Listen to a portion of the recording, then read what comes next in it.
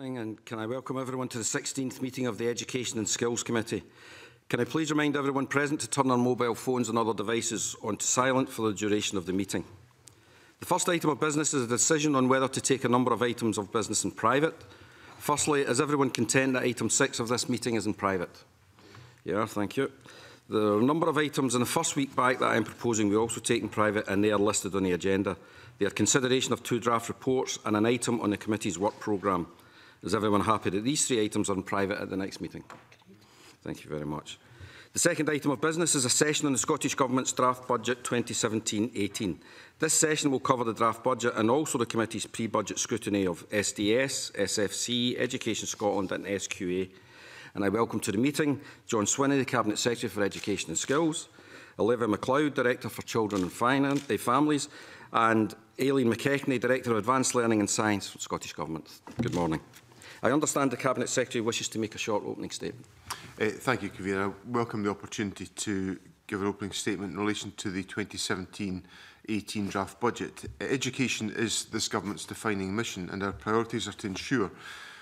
that our children and young people get the best possible start in life, to raise standards in schools and to close the, the educational attainment gap. The budget focuses on these areas and reflects the strength of our overall commitment. Uh, the UK government's approach to public spending has provided a challenging context for our spending plans. Despite this background, our overall national investment in education and skills will increase by £170 million this coming year. On childcare, we will continue to invest in early learning and childcare as we work towards delivering the increased entitlement of 1,140 hours a year by the end of this Parliament. The budget delivers an initial £60 million to support the first phase of workforce and infrastructure development needed to support this ambition. On schools, we are closing the attainment gap through increased targeted investment in schools. This budget delivers £120 million in 17-18 for schools to invest in ways which evidence tells them will close the attainment gap. This is £20 million more than previously announced and is funded from Scottish Government resources. The £120 million pupil equity funding will provide schools across the country with an allocation of around £1,200 for each pupil and P1 to S3, known to meet the national criteria for eligibility for free school meals. This is on top of the existing £50 million per annum, which already is provided to uh, deliver targeted support to those authorities and schools in areas with the greatest of need. On higher education, for the sixth year in succession, we are investing more than £1 billion in higher education in 1718. This budget allocation will protect the core teaching and research grants – and we will ensure that we continue to make good progress in our ambitions to widen access to university for young people from the most deprived communities. We announced the new Fair Access Commissioner on the 16th of December, and that was renowned educationalist Professor Peter Scott. We will continue to protect free university tuition for all eligible undergraduates. Capital investment will increase by 77% to support research and infrastructure investment and ensure continued investment in excellent learning environments for our students. This investment will support our universities to remain internationally competitive, to continue to be renowned for their research excellence and will ensure that access to higher education remains, remains based on the ability to learn, not the ability to pay. We've invested over £6 billion in further education, resource and capital in colleges since 2007. We've maintained college funding in 2016-17 and have increased it in real terms um, by 5.9% in this 2017-18 budget. This increase in our, in our investment to Scotland's colleges will help them to generate um, opportunities for young people to improve their life chances, to generate the skilled workforce needed to secure economic growth. We will continue to maintain at least 116,000 full-time equivalent college places, equipping students with the skills to take them onto positive destinations in education and employment. We've also increased college capital funding in this budget by £20.4 million pounds This increased investment will, amongst other things, allow work to begin on a new campus at Falkirk for the Forth Valley College. We are investing in modern apprenticeships by increasing the number of ME starts this year towards, uh, as a step towards 30,000 by 2020. We will establish a new flexible workforce development fund for training needed to support inclusive economic growth. This budget also delivers £221 million to interventions that support skills, training and employment in Scotland matching the funding transferred as a result of the UK Government apprenticeship levy. This includes an additional £8 million for modern apprenticeships. And these comments, I look forward to addressing comments from the committee. Thank you very much, Cabinet Secretary.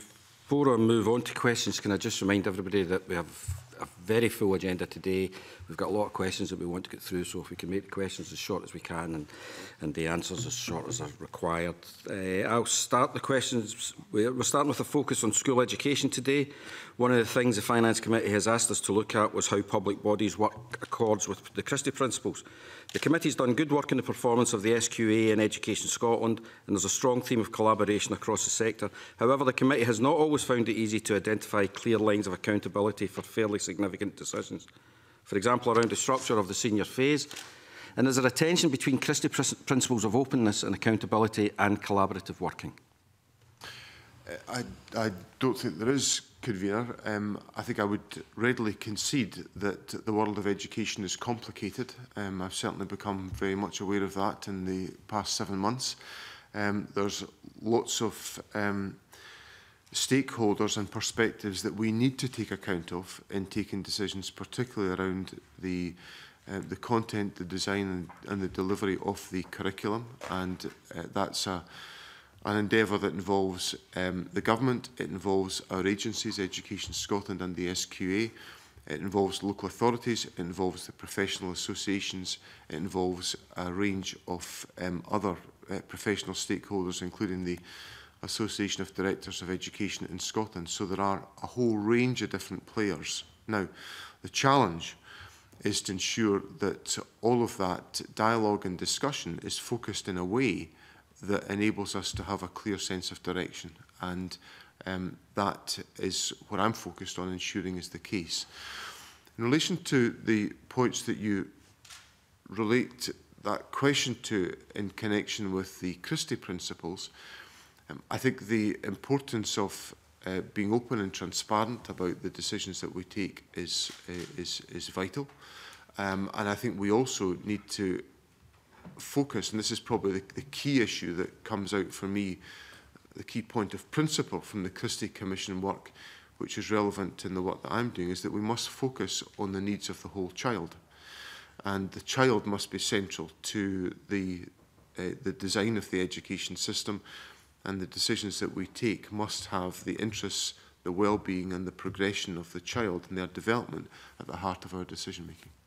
Is there anything that you're working on or anything that uh, you think could be done to improve that clear line of accountability for something isn't working? We know where it started to go wrong. I think the I, think I, I'm, I'm going to look at the um, the arrangements around all the different bodies that we have that look at some of these questions. You know, we have a Curriculum for Excellence Management Board, we have a subgroup of that, the Assessment and Qualifications Working Group. Uh, I chair one of those. I don't chair the Curriculum for Excellence Management Group. Uh, these are arrangements I've inherited. And I'm, I'm going to have a look at that um, in a timely fashion to make sure that uh, that operates um, in a, a, an effective way a clear way and a transparent way so that accountability is, is, is, is clear. But I think we have to accept, and nothing I do about education will detract from this point, that there are multi-layered levels of accountability within education. You know, the government has some responsibility, agencies have, have responsibility, local authorities have responsibility, schools and teachers have responsibility, and there's various other points of accountability into the bargain. So we'll never you know, we will never remove that multi-layered uh, accountability requirement because we need different layers within the education system to be accountable and to take ownership of the responsibility of ensuring we deliver quality education in Scotland. Okay, thank you very much, Ross. Convener. Um, Cabinet Secretary, within our SPICE briefing for the, the committee today, it states that the, the budget for Curriculum for Excellence has been reduced across SQA, Education Scotland and central government budgets. now, this comes at a time when the SQA um, have told this committee that they're going through an intense period of assessment redesign, which is on top of business for usual, on top of their transformation programme, with a very tight timeline to meet. And they were very clear in relation to my own question that this requires additional resource. It's also a time when Education Scotland have been charged with burning a barrage of bureaucracy and we've received some pretty poor PISA results. So the response from the Scottish Government is to cut cash from the general curriculum by 4 million, money for qualifications assessment has been reduced by 50%, non-staffing budgets for education Scotland by 16%. So does the Cabinet Secretary agree with Professor Lindsay Patterson that this approach is a big risk and is unwise? Uh, no, I don't. Um, I think we have developed the curriculum uh, to a very advanced stage. Um, the qualifications framework is developed equally to a very advanced stage. And yes, there are changes to the qualifications, uh, the content of the qualifications um, approach that have been made, which are about rebalancing the um, the, uh, the, the, the rebalancing between the final assessment and the course assessment that's undertaken uh, during the, uh, the, the, the, the, the, the course year. And as a consequence of that, uh, that's a more minor change to the process than the design of qualifications, which is the work that has been um, very much at the centre of the activity of the SQA for some time.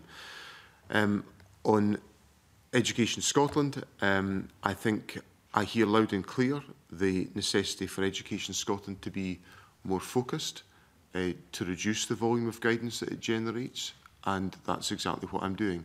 And we don't need more money to reduce the amount of guidance we produce.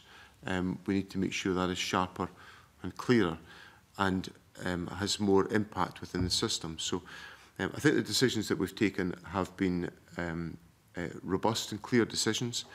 Um, if uh, I obviously will continue to monitor uh, all of these decisions um, as we go through the financial year, um, but I'm confident that we've taken um, uh, a set of decisions that are appropriate for the stage of development of Scottish education.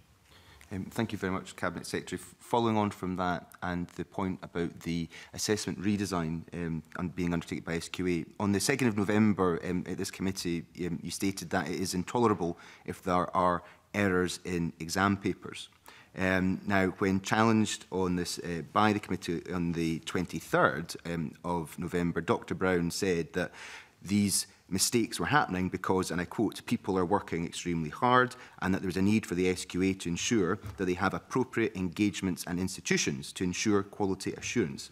And she highlighted issues with resources. So in terms of the mistakes that have been made and ensuring that with this very tight timeline that we've got, that we don't repeat them, how much of this is related to SQA resources? Or how much do you think is a failure of leadership in SQA? Well, I think what I think the issue that Mr. Thompson raises um, is described essentially in the uh, in the letter that Dr. Brown has sent to the committee dated the 16th of uh, December, which goes through the various um, elements of the process of quality assurance within the SQA.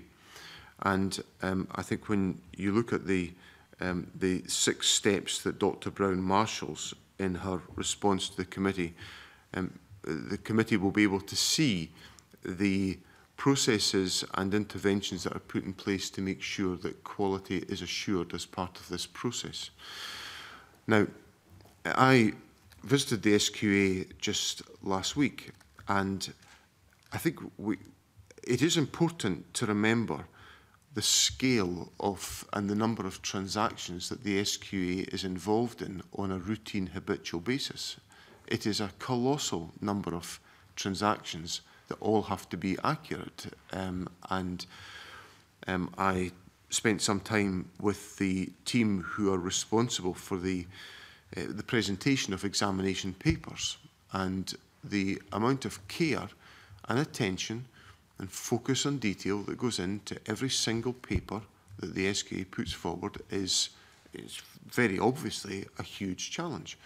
Um, so there are teams there doing that, and uh, Dr Brown has set out, I think very clearly in her letter to the committee, the various steps that are taken to make sure that that is accurate, and that is essentially a very basic requirement of what the SQA needs to deliver uh, on behalf of um, the, the examination system and to make sure that that's accessible um, and dependable for young people who are involved in examinations.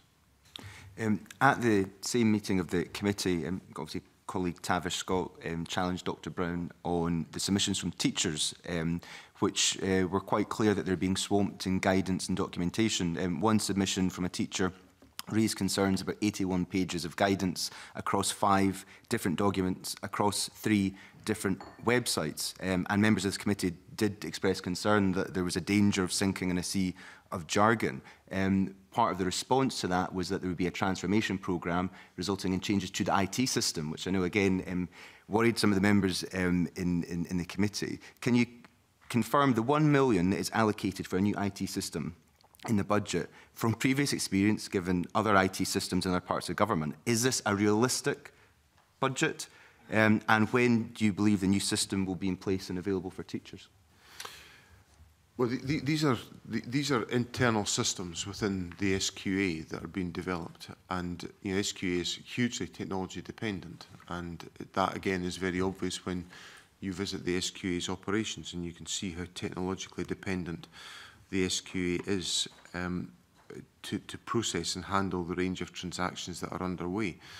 Um, so you know, we've, we've responded to the um, requirement for additional capital resources to support the IT developments within the SQA. IT developments are a routine part of developing the work of the SQA and ensuring its capacity can deliver um, for the examination system. Um, the, the, the work that's underway is programmed work to be undertaken within 2017-18, so those resources will be available to undertake the IT improvements within that, uh, that time frame. Uh, and I think the, there are clearly lessons that the SQA um, is learning, and Dr Brown has made this point clear to the committee as well, uh, about the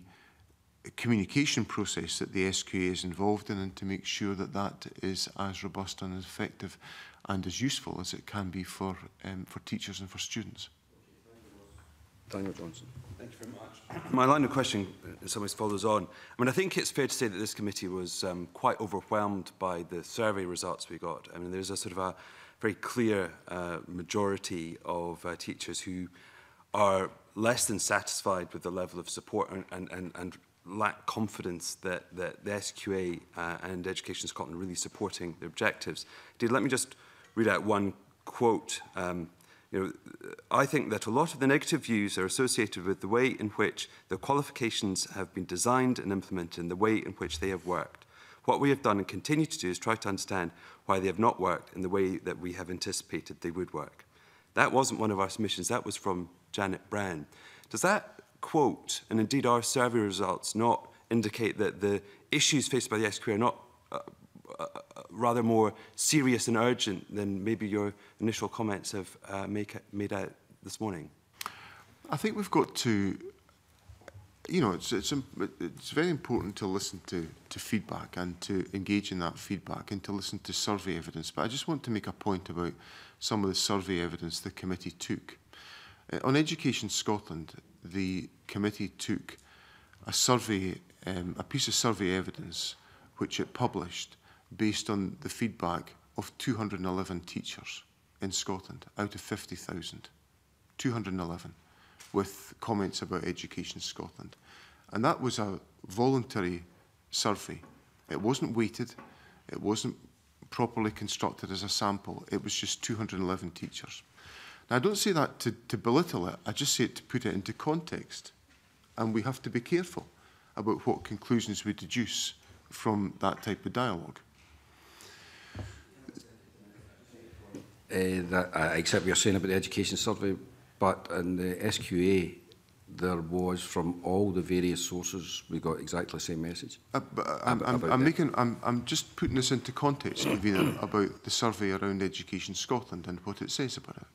Now, in relation to the work of the SQA, you know, what is the SQA's purpose?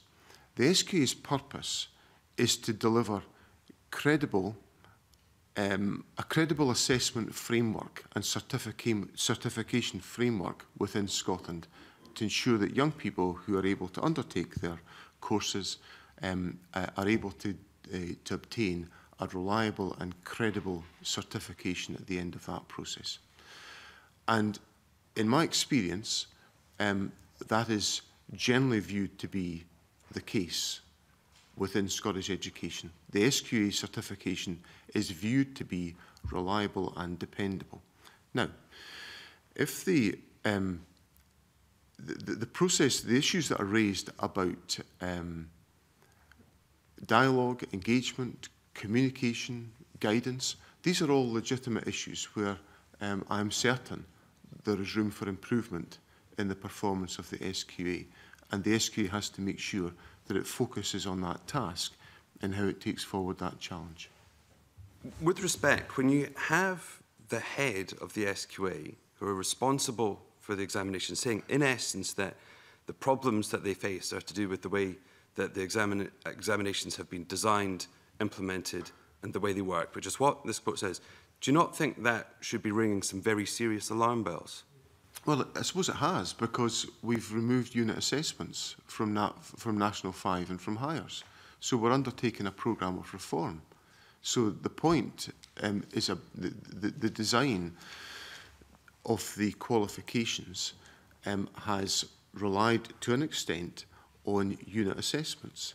And unit assessments have been judged to be, by the profession, um, cumbersome and duplicative in the assessment that is undertaken of young people. So uh, I've taken action to address that point, and we're going to remove unit assessments uh, starting in, 20, in the 2017-18 diet uh, to make sure that the assessment uh, burden is not as cumbersome as it has been.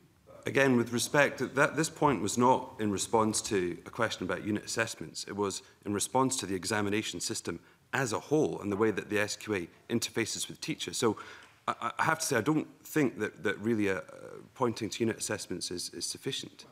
I, well, I, with the greatest respect, I do because I think we've let, let's look at let's look at what the the relationship between the curriculum and the examinations. Curriculum for excellence is designed in a fashion that it should not be uh, the performance of young people should not be solely and exclusively assessed by a final examination that there is um, course assessment that contributes towards the overall performance of a young person. That's a requirement of the curriculum. The final examination is there to assess and to test particular elements of the, the knowledge and the learning that's been undertaken by young people. Uh, unit assessments were also added into that to provide some further rigour in that process. And The judgment that was arrived at by the Assessment and Qualifications Group and by the Curriculum for Excellence Management Board was that that was duplicative. And I've addressed that and I've removed that. So, because nobody, in my opinion, is saying, well, we don't need um, the, the, the coursework assessment as part of the overall examination structure because that's inherently part of curriculum for excellence. And nobody is saying we don't need an ex a final examination because um, that's, you know, I think there'd be, I could imagine there'd be, I can think of various people who might be howling at me if um, I, if, if final examinations were removed from, from courses.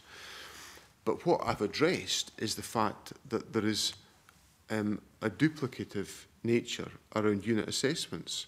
So I, I'm, I'm doing that to try to address Mr Johnson's point that when people are raising issues about the examination system, They're not questioning the coursework. They're not questioning the final examination.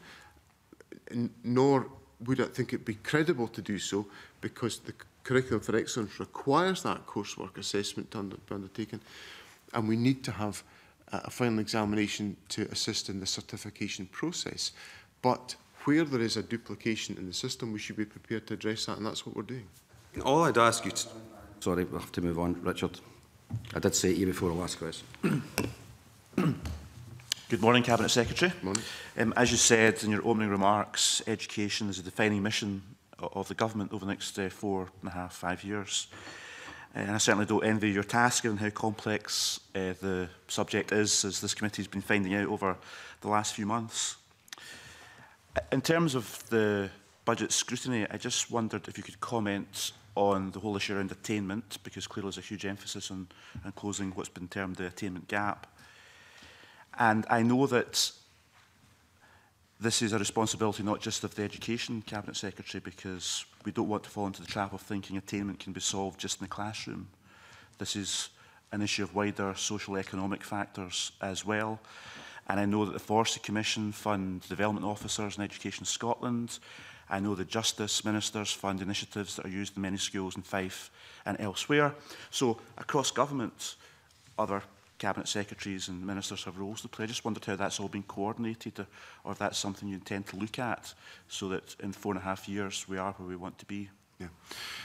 The the policy foundations of what, of what the government is trying to do on education are linked together by three major policy planks. Um, getting it right for every child, curriculum for excellence and developing Scotland's young workforce.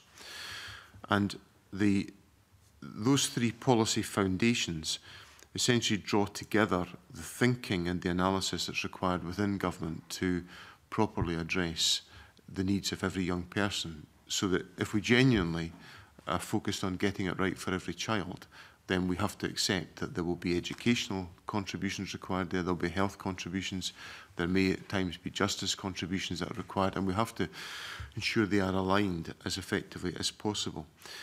So in one of the principal ways in which uh, you know, th that is you know, joint work that's undertaken within government through our public service reform work so that we're all aligned to these priorities and the joint working which goes on between different uh, portfolios. But sharing that with the wider world, because out with you know, if it's complicated enough within government, it's even more complicated out with government. We've drawn together the work of the Early Years Collaborative and the Raising Attainment for All Collaborative into one um, a venture called the Children and Young People's Collaborative, and that is about bringing together health professionals, educationalists, um, people from the criminal justice system, uh, people from the third sector, um, a whole variety of different individuals right across the country in all the community planning partnership areas around the country to make sure that we are uh, part of a joint learning process and um, uh, uh, and that that gives cohesion to the way in which this agenda is taken forward, uh, not just at, at local level, but at national level.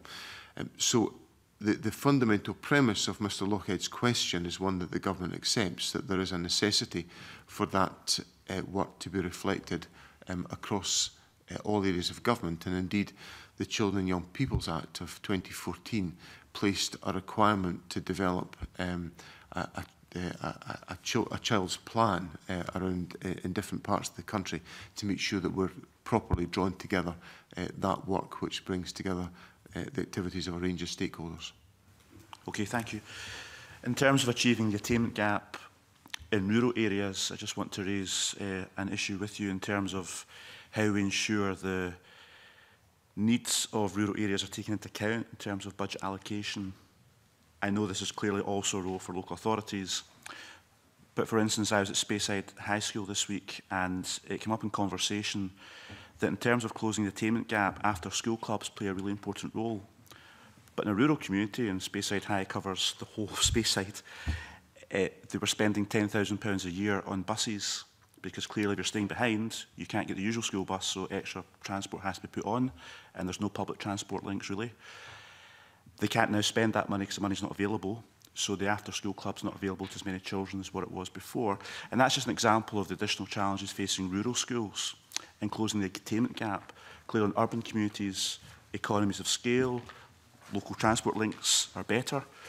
Uh, therefore, how can we ensure that the budgets are taking into account rural needs for closing the attainment gap, given the extra challenges facing rural communities? Some of the, the, the issues that, that are involved in that question are reflected in the role of, um, uh, of eh, adjustments such as rurality and sparsity of population that will go into the local government settlement and the distribution of resources that eh, essentially are designed to reflect some of these points. In relation to the, um, the attainment challenge, uh, obviously we're moving to a situation where in 1718 we will be um, channeling resources directly to schools driven by the eligibility for free school meals within those areas. So the existence of deprivation and therefore the need to make sure resources reach all of the um, the instances of, of deprivation around the country will be much more prominent in the distribution of the resources, the £120 million pounds that I've talked about uh, earlier. Now, up until now, we've we, we've not been following such an approach. It's been based very much on uh, the Scottish Index of Multiple Deprivation, which is an effective mechanism of identifying um, groups and areas of deprivation, but not uh, individual instances of deprivation, which the um, the approach that we're taking on the distribution of the attainment fund resources in 1718 um, will enable us to do. Um, so we, we are taking, uh, are uh, very mindful of the points that Mr Lockhead raises about the importance of ensuring that there is uh, an approach taken which supports and assists the delivery of services in rural areas which will have a different character about them compared to urban okay. areas. I've just got one more question.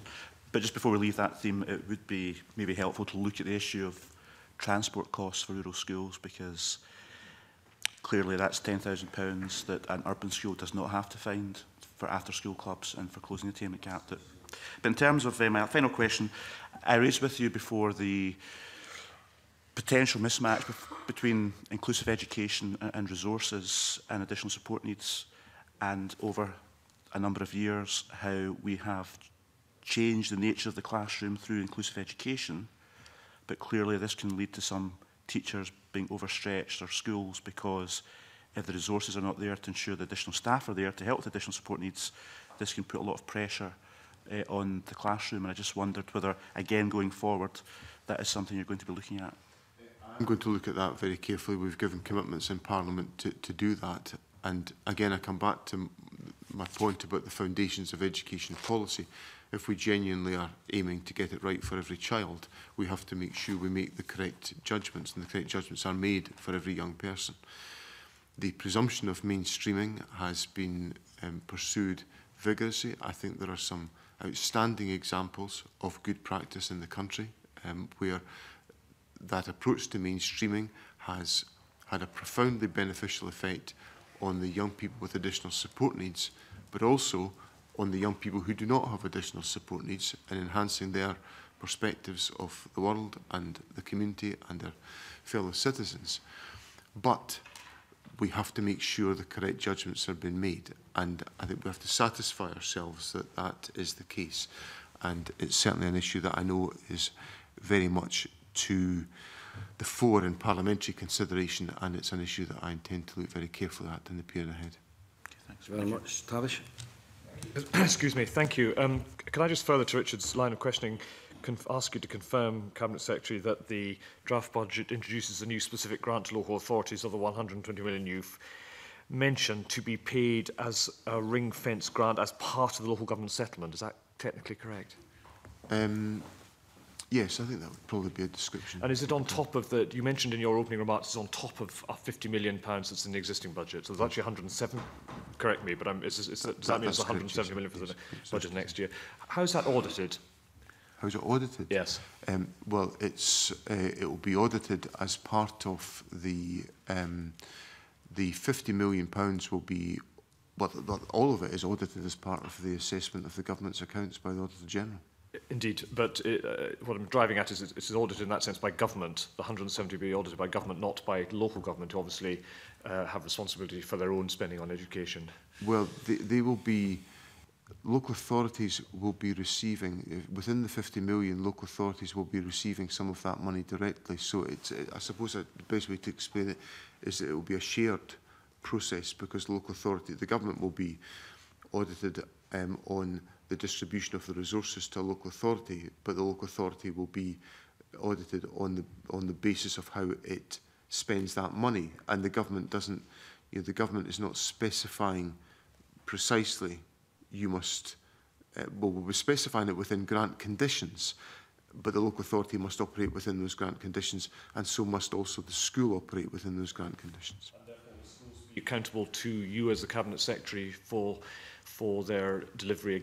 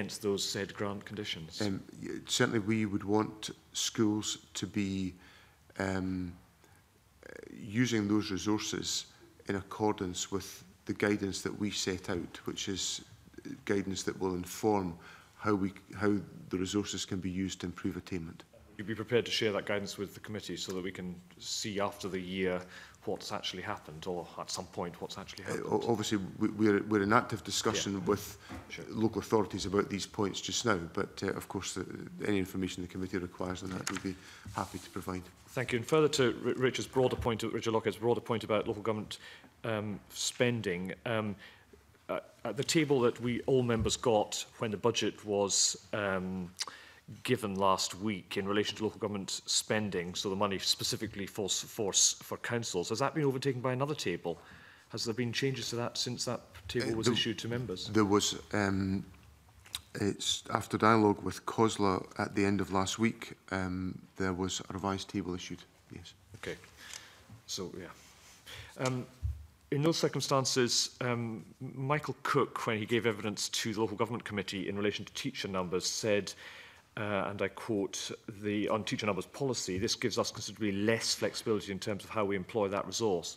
Is that a fair observation?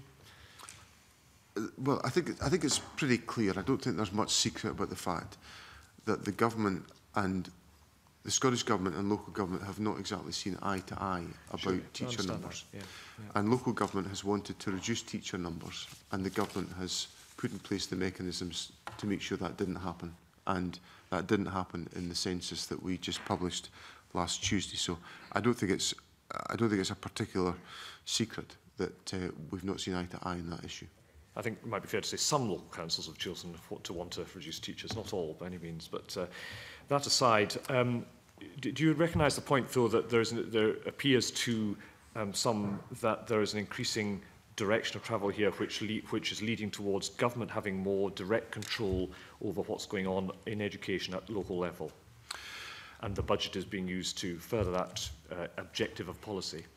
The government has uh, set out an approach on um, education improvement, which is uh, demonstrated by the National Improvement Framework, which was first set out by the uh, the First Minister in January of this year, and I um, fulfilled the statutory duty that we have to publish a national improvement framework last Tuesday by publishing the document that I published to Parliament. And that sets out uh, how the government takes forward um, its statutory responsibility to set the direction uh, for Scottish education um, and to take uh, the necessary uh, and legitimate steps to make sure that's pursued around the country. Okay, and, and within that um, that document that you published um, and spoke to in Parliament last week, there were, and correct me if I'm wrong, six new initiatives that I could count as I went through the the um, proposals within that, or the proposals, the plans within that um, document. Uh, those resource, they, they all have resource, or I could read them, they all have resource implications. Would that be fair?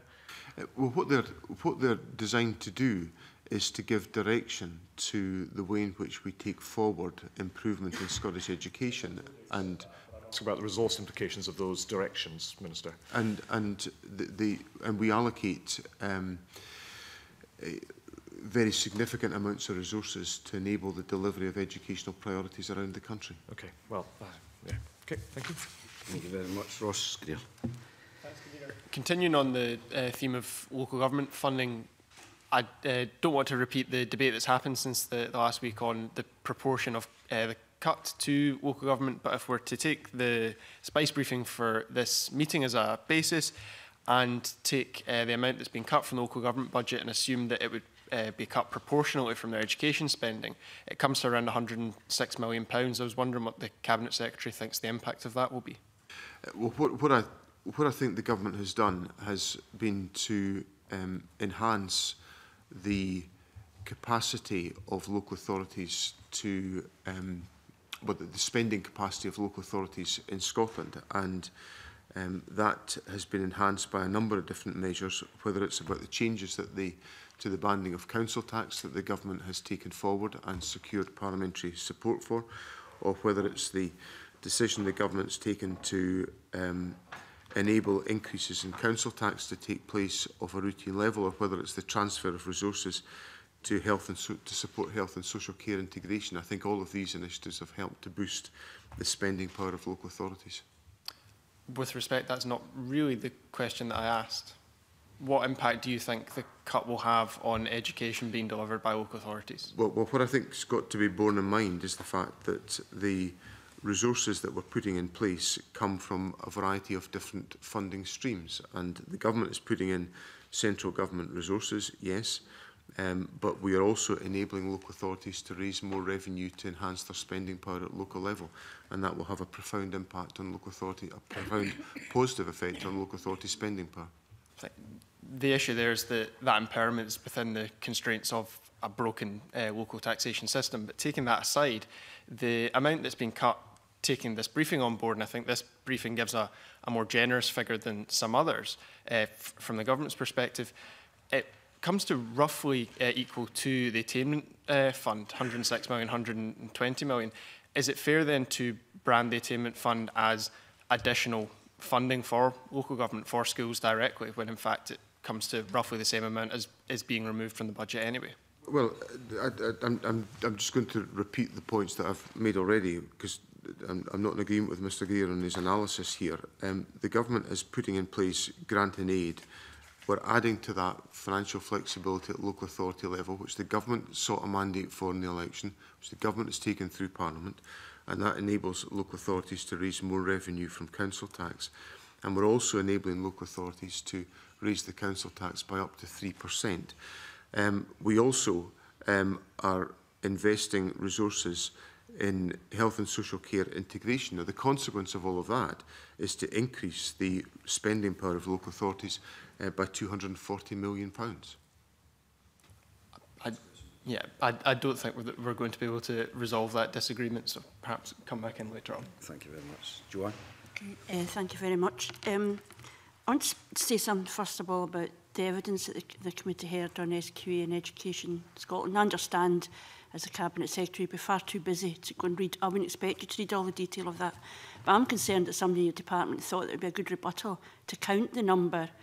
of survey responses and compare that with the number of teachers. And I genuinely say to ask you to look again at what teachers were saying. It took me three hours to read the evidence. And what came through it very strongly were genuine concerns by committed professionals that the system wasn't working. And I, and I, I would urge you not to try and find um, accept an official's explaining away of this, but rather um, to reflect on it. And I note that um, the justification for the cuts to the, the, the, the budget to SQA is um, it's been halved on the grounds that, quote, budget decrease stems from a maturity of the curriculum for excellence and completed implementation of the new national qualifications. Do you not accept that that statement is probably one that very few people in Scotland agree with? CFE has um, has come from a maturity of CFE, when in fact a lot of the evidence we got was a sense of huge uncertainty in the sector and amongst parents about what's happening in our schools? Um, well, the, the first thing is that, you know, I, I to, to answer uh, John Lamont's point, I, you know, I'm simply making a, a contextual point about the scale for responses to the online survey of the, the, the committee. Um, but I look very carefully at feedback from the teaching profession and I am in dialogue with the teaching profession at all levels on a very sustained basis. And uh, so I, I, and many of my actions um, are driven by those conversations with the teaching profession. So when it comes to uh, so uh, that informs the judgment that I make about um, where we have reached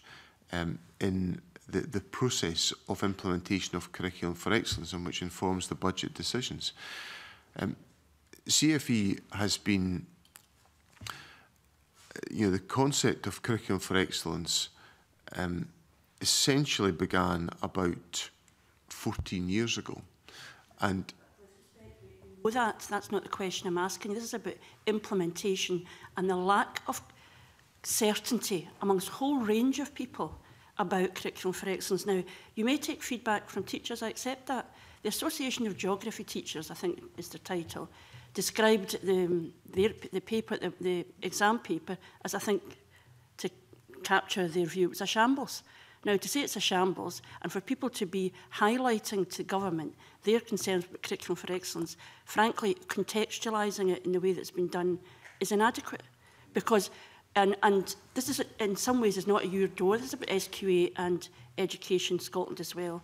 Now, in response to questions, basically the SQA said, well, you know what teachers are like, they don't want to change. And I am very concerned that you're making budget decisions on, in, the, in an understanding what the concerns are around curriculum for excellence, which, frankly, contextualised as being frivolous. I mean, do you accept that there is a serious question here and that to have a budget to follow a view of what the problem is, when the problem is a lot deeper, is, as has already been said, a significant risk. The first thing is that, that Joanne Lamont used the word frivolous.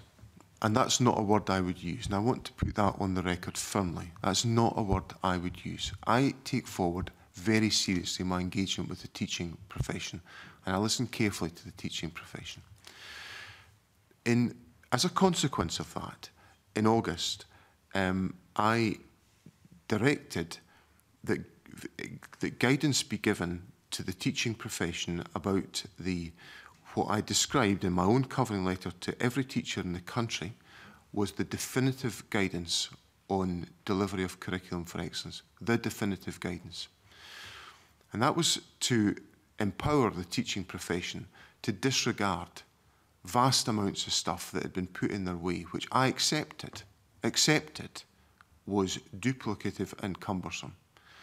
And I have to say, and the committee is free to go and test what I'm about to say with the teaching profession if it wishes to do so. But the feedback I've had from teachers about that guidance in August was it was enormously helpful uh, in simplifying the guidance and the approach that the teaching profession were operating within. Now, I offer that honestly to the committee. That's the feedback I've had. And I go about my consultation dialogue with teachers in a fashion which invites them to tell me and contradict me if I'm not reflecting what they're saying to me. But that guidance has been viewed by the teaching profession that's made its reviews known to me as being of enormous assistance in simplifying the curriculum and the guidance that's available.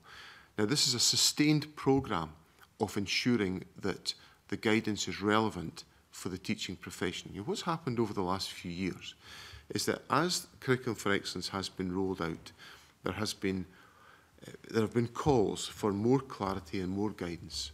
And that has been offered. And it's been offered on a number of occasions.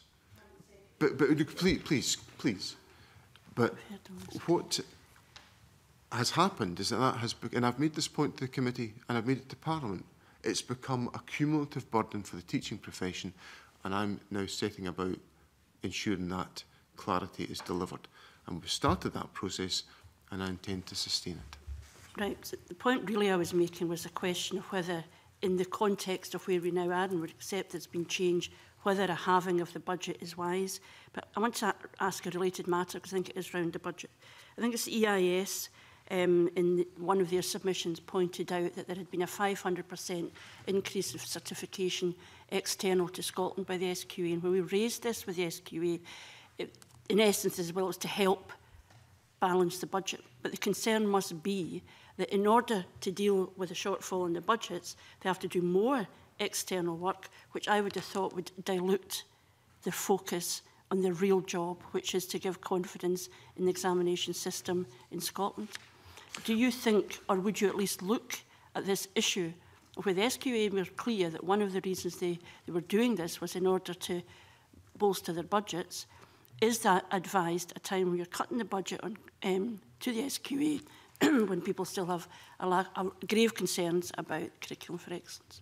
There's, there's two, two points in response to that. One is that um, I will continue the practice of my predecessors in assessing the performance of the SQE budget during the course of the financial year to determine whether or not the judgments we've made at this stage uh, are judgments that can be sustained.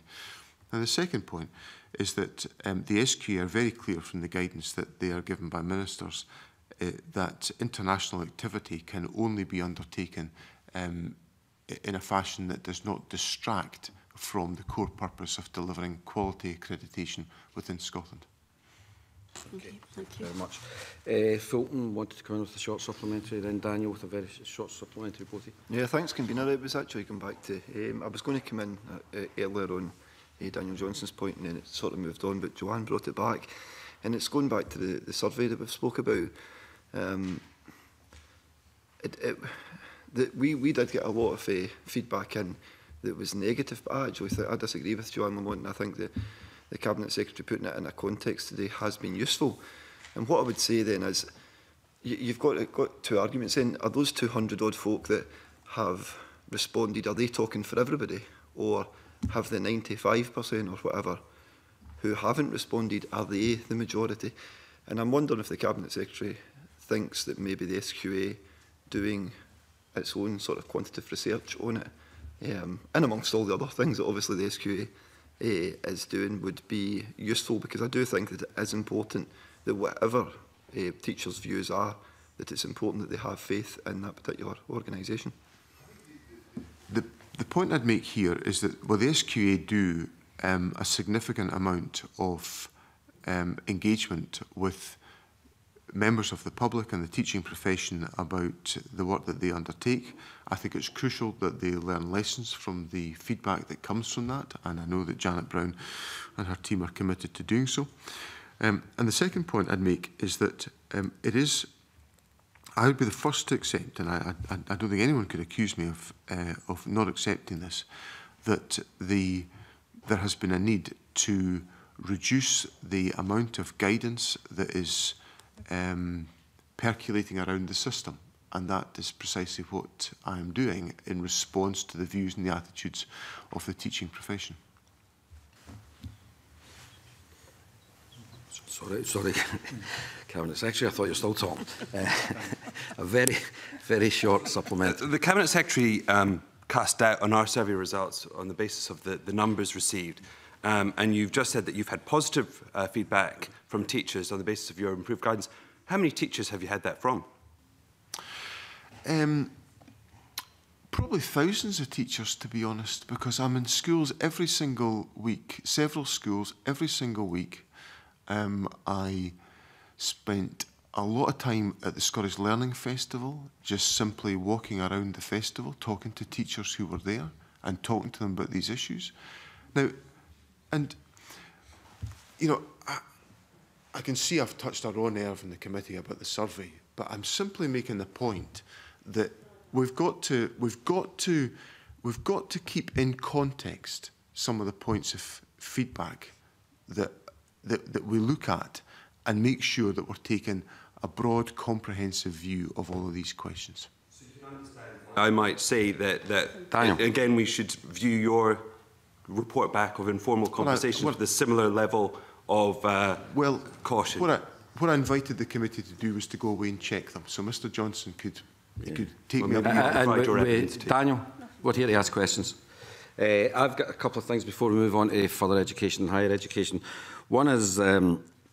just for clarification, the 211, I hope it's the last time that we hear this mentioned today, the 211 was about Education Scotland, the, the, the larger figures were about the, the SQA.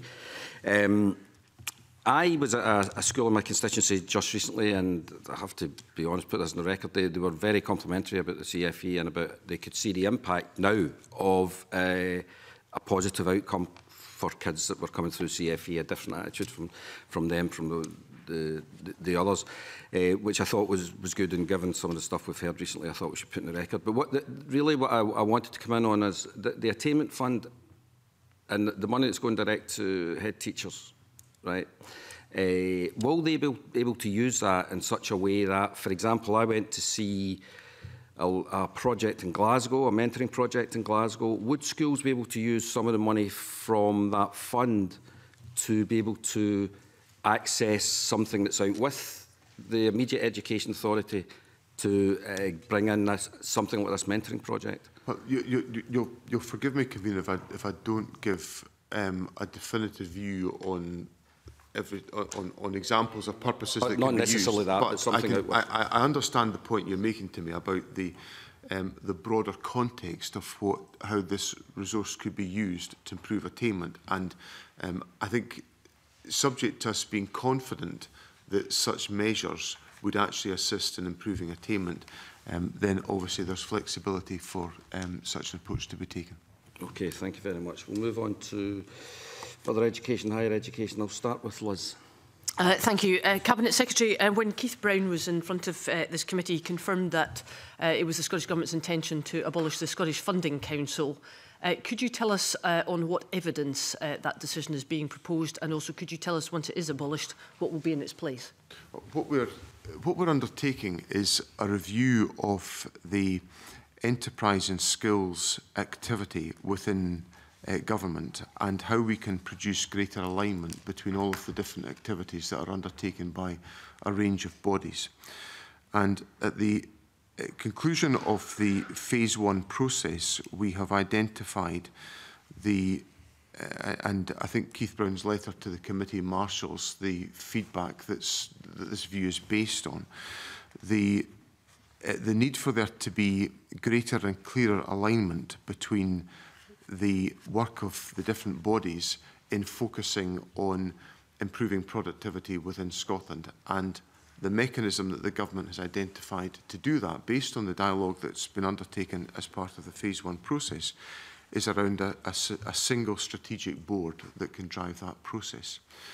And that is about making sure that our interventions and our approaches are aligned to that common purpose of improving productivity and strengthening the performance of the Scottish economy as a consequence. Now, the phase two uh, of the exercise is to look in detail at the questions that arise out of that in principle view. Um, and that's the work that's now been taken forward by um, the, the ministerial group.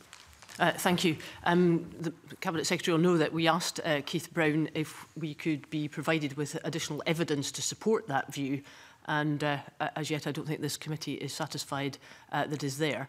Um, are you satisfied that the uh, evidence is strong to uh, abolish the SFC and to replace it with something else? Um, I think the uh, the evidence is strong, uh, yes, because I think the problem that we have is that we don't have strong enough alignment between the different um, aspects of our agenda that we take forward as a country. And we've got, you know, we have a, we have a, a productivity challenge within Scotland that we have to take steps to try to address. We've gone through a process of dialogue and consultation to identify what would be steps that would help us to create that greater focus on improving productivity. And what Liz Smith has asked me about has been the product of that discussion.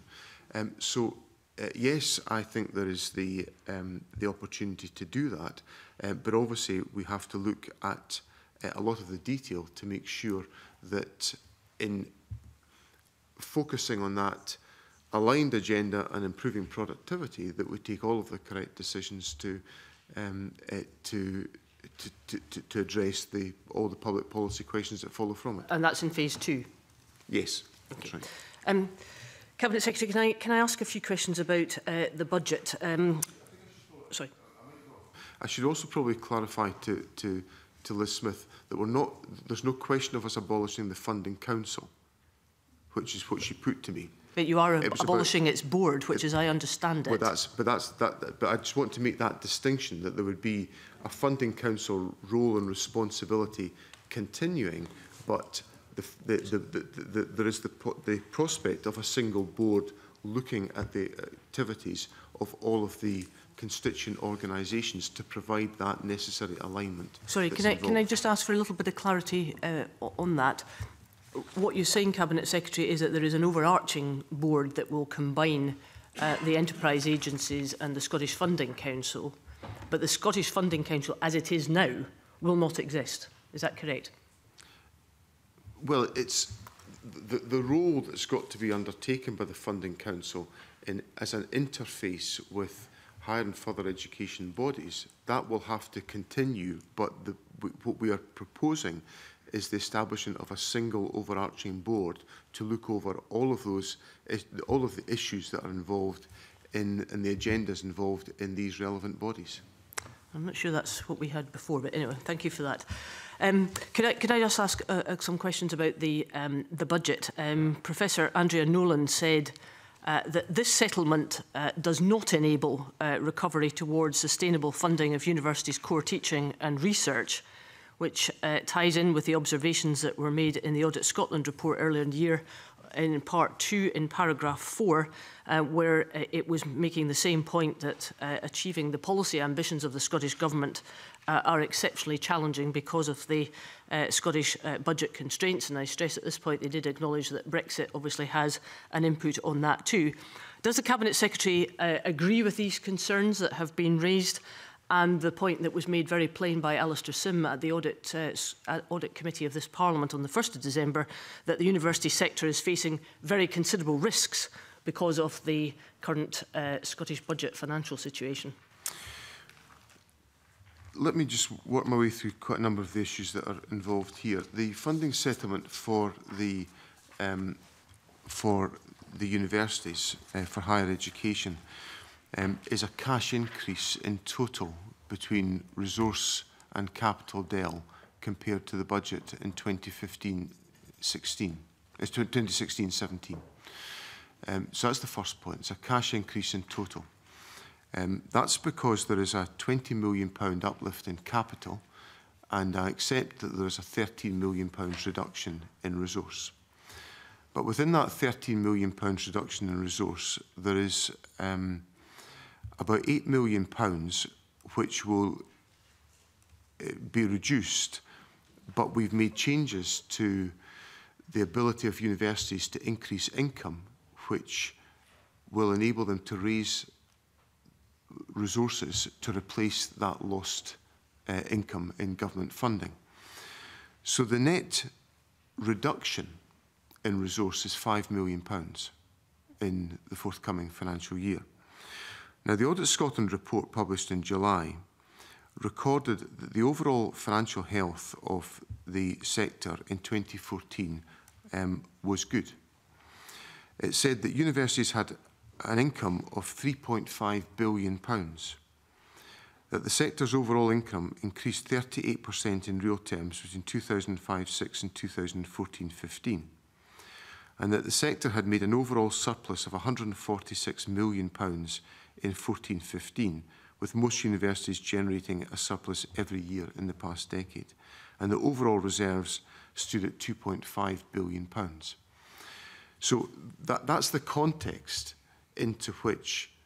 a reduction of £5 million of resource has to be considered as part of an overall consideration whereby the cash resources available to universities will have increased um, from 2016-17 to 2017-18.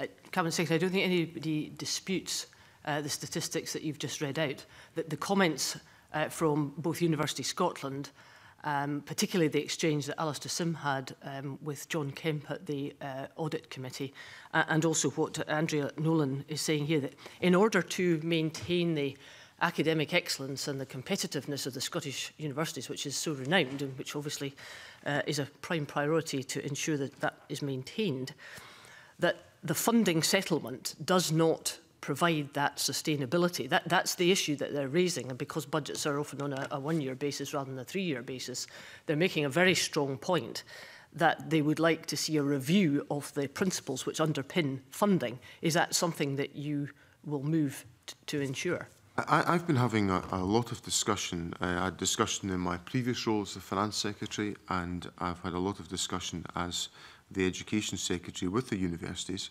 about a combined and collaborative agenda to ensure they can fulfill their potential because I recognise and I've made it clear publicly and made it clear to the universities the extent to which I believe they represent uh, a significant a, a critical economic resource and an e-, economic asset for Scotland. And I am keen to make sure that we uh, work on an agreed agenda which will strengthen the sector in the years to come. And obviously, I, I understand very clearly the arguments for longer term financial settlements, but this is a one year budget that's been undertaken, and that's uh, you know, it's a decision the government took to in, in this context.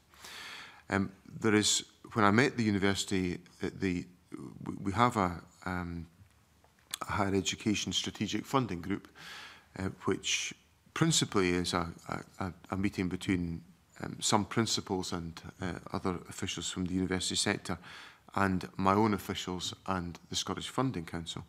But on a couple of occasions, the Minister and I have interacted with that group and uh, I'm very keen to, in, and a, a lot of good work has been undertaken to get us to this financial settlement that was put in place. And these options and issues um, are, have been part of the discussion that we've talked about. So the, the income generation opportunity that I referred to is one that's been discussed with the Higher Education Strategic Funding Group. So we, um, eh, I, I'm very keen to make sure that we proceed with um, uh, an agreed collaborative agenda to make sure the universities can continue to make the strong contribution. I believe this financial settlement enables them to do so. Okay. My, my, my, my final question um, it is based around the fact, and you said it this morning in your opening remarks, that um, the Scottish Government has taken a decision uh, for domiciled Scots that they will go to university uh, on the ability to learn rather than the ability to pay. We, we understand that, we don't agree with it in some cases, but that's the decision that has been made. Notwithstanding that, uh, we know that between uh, 2010-15, the demand for Scottish domiciled students increased by 23%, and we know that there are more Scottish domiciled students at university than before. But we also know that the offer rate uh, has only increased by 9%. In other words, because of the capped system, there are more Scottish domiciled students who are finding it very difficult uh, to get a place at a Scottish university and much more difficult to find it in Scotland in comparison with other parts of the UK do you as Cabinet Secretary still agree that the capped system is acceptable, particularly in light of some of the funding constraints that you outlined before? I, I, I do, but I think the, the other point which has to be borne in mind is the fact that the, the, the participation in higher education is not just undertaken at universities in Scotland, and there's a very significant amount of higher education activity undertaken within the further education sector within Scotland. And that's where I think when we when when we get into the, the points about um, just the comparison of participation, we have to have a more comprehensive view in Scotland than can be made as a direct comparison with England because of the difference in routes that individuals take to secure higher education qualifications, where there's a much greater reliance on further education opportunities to pursue that than exclusively in the higher education sector, which I think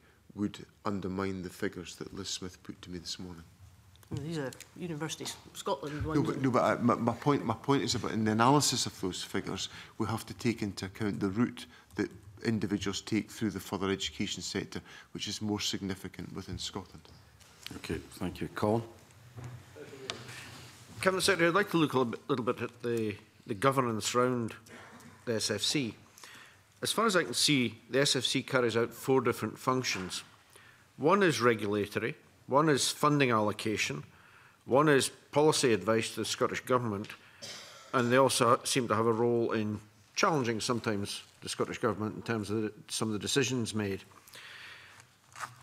Does that, does that seem like a good mix within one organization? Should it, should it be should there be an element of separation there? Is is there any problem with transparency in that mix? I, I certainly I think the funding council um, exercises all of those um, those functions. Um, it's an arm's length body from government to, to um, is able to operate impartially.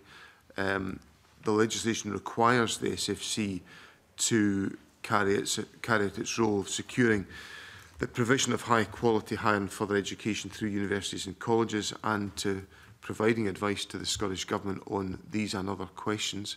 Um, in my experience, it is able to do so and um, I think the remit of the Funding Council um, has been pursued um, within that context as, um, uh, uh, through my experience.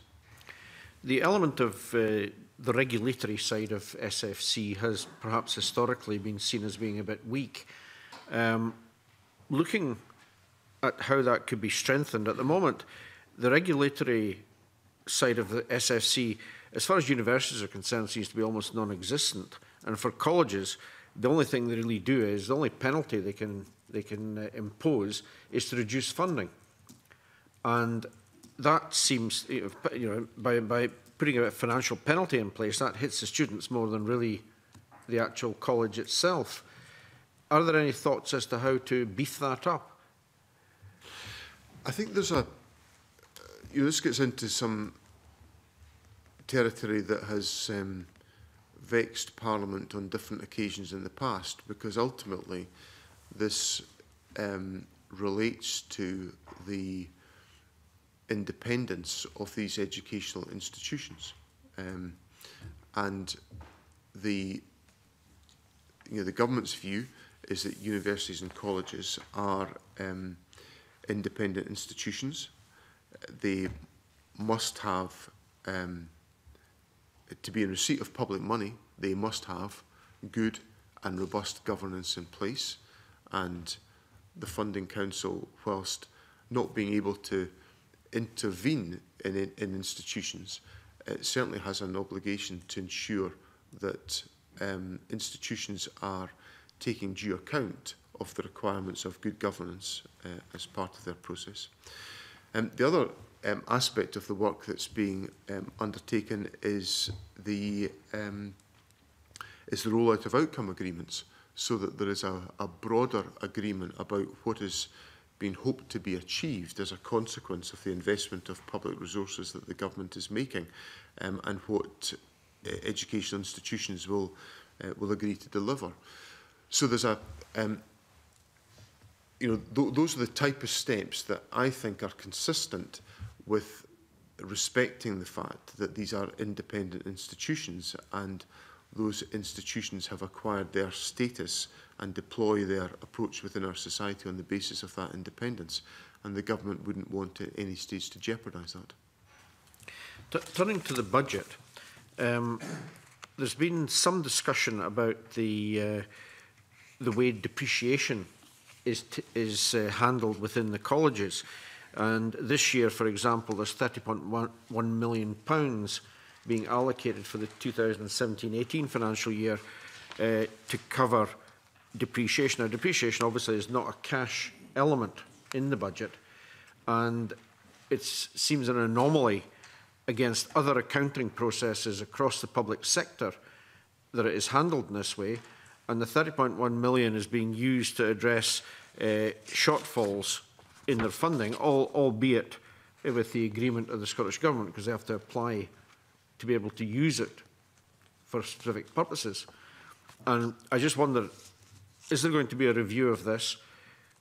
Can this be brought into a, a sort of a normal public sector financial settlement process?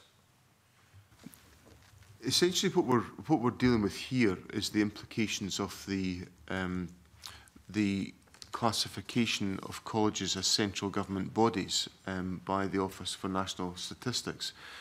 So these, these are requirements not applied by ourselves, but by that wider classification discussion. Now, there is a review that is underway on these particular issues involving Colleges Scotland, the government and the Funding Council um, to try to ensure that we get to a position of what I might describe as greater clarity than we... These, these are immensely complex arrangements um, as a consequence of the classification decisions. And um,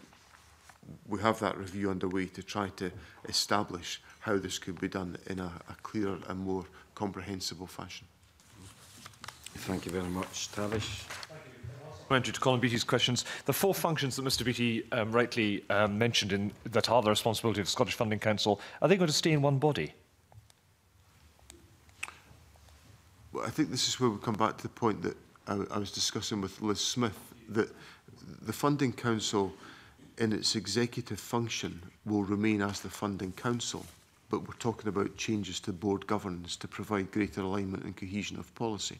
So the, the, the functions would still be exercised by that, by that executive arm of the Funding Council. Yeah. Okay. Um, I wanted to ask some questions about the Funding Council's budget, in particular in relation to the Student Awards Agency for Scotland. If I read um, this correctly, um, in the last three financial years, there has been an in-year transfer from the Funding Council to SAS of about £20 million pounds a year, and I was just wondering um, why that was.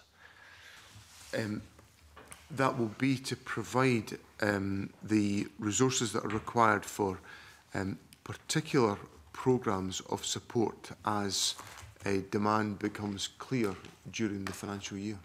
But it's been three years, uh, it's been roughly the same amount each year. Um, is there not something that's gone slightly amiss with the budgeting if, if it, it always has to happen that way? Shouldn't that now be baselined into the SAS um, budget rather than a, a line coming out of the Scottish Funding Council's budget? I think we, we, we, we, we wrestle with some of these judgments and I wrestled with a lot of them in my former role about whether to make baseline transfers or whether to, for clear line of sight, to establish continuity of baselines. So there's never a there's never a perfect science in all of this, um, but the the judgments that are made here are made to reflect um, circumstances as they arise during the financial year, and that may vary from year to year. I understand although that. I do, although I do take the point yeah. that when a pattern well, begins to emerge, indeed. there may be an argument for yeah. um, baseline transfers. And indeed, the budget does involve some baseline transfers going in different directions um, as a consequence of that analysis. So would, would it be, just in terms of the, a committee or, or anyone's ability to scrutinise properly the funding of SAS when a pattern's been um, gone on for three years, you'd at least accept there's something that maybe needs to be looked at. I, I, I do take the point that when patterns uh, like that emerge, there is a, a point to explore. Uh, and, and uh, at this stage, during the 16, sorry, the 17 the budget we're about to go into, does the government have plans, therefore, to again follow the same pattern? In other words, to, to have another in-year transfer if demar if if justification circumstances, justification. if circumstances require it, we will have to we'll yeah. have to look at that question. But you'd accept that would be four years, and something that needs to be addressed. I think but but yeah. I think the general point is a is a fair point that when patterns emerge of this type. But if I if I give Mr Scott another example, in the in the budget document, um, in the section on um, higher education, for example, um, on, sorry, the Funding Council Table 6.06, Mr Scott will see that the 2016-17 budget is 1027, um, and then there's another column that says 2016-17 budget, says 1081. And what that represents is the product of in-year transfers to deal with medical education, for example, which happens every year, but it rather skews the numbers. So the, the, there is a there's a judgment to be applied about what is the right moment and the right time to make baseline transfers of that type. Okay, thank you. Thank you very much, Rosgrave. Uh, to return to Wes Smith's uh, first question, there been some pretty significant concerns around the implications for research funding of moving the Scottish Funding Council uh, into the, the purview of this overarching board, specifically around um, charitable foundations, those based down south, the Wellcome Trust being a good example, which would uh, give less and be far less likely to give when there's a perception of being too close to government. From what you've said uh, today, Cabinet Secretary, and from what Keith Brown had said previously, is it fair to characterise this as being that in phase one you decided – to take this approach of the overarching board, and in phase two, you will find out what the implications of that are. We'll explore the, the, the detail and the implications of that decision in phase two. Was it responsible to take a decision and give yourself essentially no wiggle room to get back out of it, to only then find out what the damage of that decision could be? Well, what, we've, what we're, we're looking at is what can help us to focus and direct the measures and interventions that uh, we can make to support improvements in productivity in Scotland. That's the, that's the purpose and the, the, the drive of this reform. And that's what's led us to take the decisions that we've taken. And uh, we will, of course, explore all of the issues to ensure that we properly and fully address um, uh, any of the uh, uh, the issues that have been raised as part of the consultation and dialogue. Fail to see how it helps to take a decision and then look to gather the evidence about the implications of that decision. That doesn't look like a responsible process. Well, the decision that we've focused on is answering the question which is inherent in the Enterprise and Skills Review, which is how can we strengthen and improve productivity within the Scottish economy. That's been the, That's been the question that we have explored uh, to try to take the measures to ensure that is the case. I accept that, Cabinet Secretary, but there are other significant implications from the decision that you've taken, which you don't seem to have even looked into before taking that decision. Well, uh, there are other relevant policy considerations. You know, the, the government will not take decisions... On.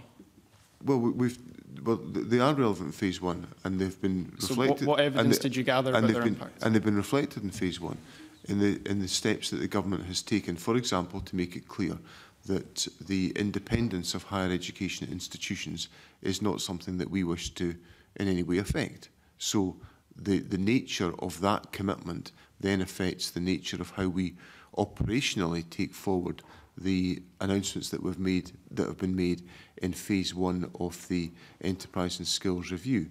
So the the the, the, the, the conclusions of phase one have taken into account a variety of different policy considerations to enable us to focus on how we can uh, give greater attention to improving productivity within Scotland? It seems like a, a worrying process, but I think the committee would benefit if you were able to provide further evidence of what implications you concluded uh, in phase one, would, what the implications would be in phase one.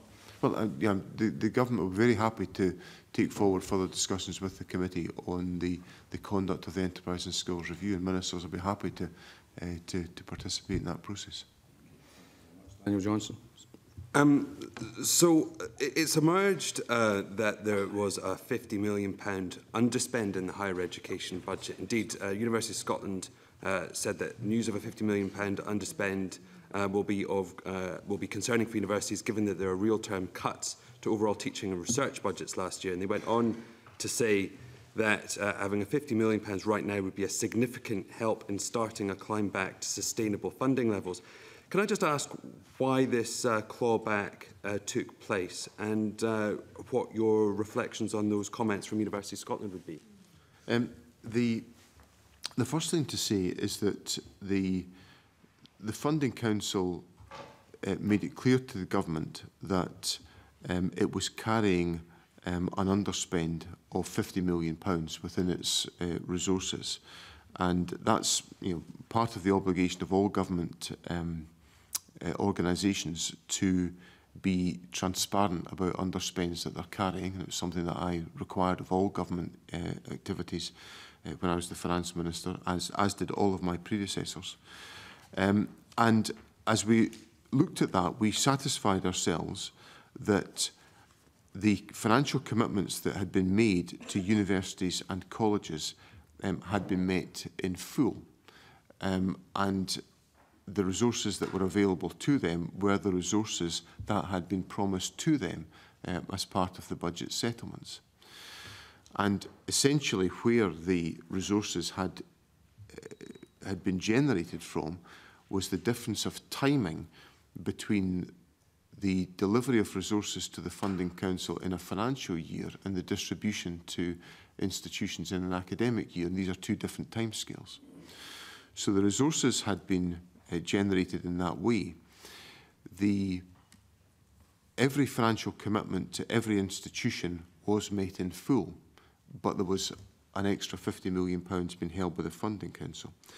And uh, I judged that that had to come back into the centre because budgets should operate on the basis that resources um, should be available to the government to deploy as it sees fit and uh, that obviously was the process that was concluded as part of the accounts, the consolidated accounts for 2015-16, uh, which were lodged with Parliament um, on uh, in September. Now, in relation to the comments of University Scotland, uh, then you know I'm not surprised that University Scotland make comments that they would like to have more money. Not many organisations have sat in front of me and asked for less money, in my experience very, if uh, you've got a supplementary, make it very brief. Fleet asked one supplementary comment to Ross Greer's line of questioning about scope. Um, it, it, indeed, I mean, I think that we understand the Enterprise and Skills Review relates to productivity, but obviously Scottish Funding Council has pr primarily a, a, an interest in education. Indeed, in answer to Tavish Scott's line of questioning about STEM subjects and the impact of, of uh, these moves, Keith Brown said that, that those considerations were out with the scope of the review. So I'm a little bit confused as to where these educational aspects and elements lie in terms of this review. Are they in scope or are they not? Have they been considered or have they not?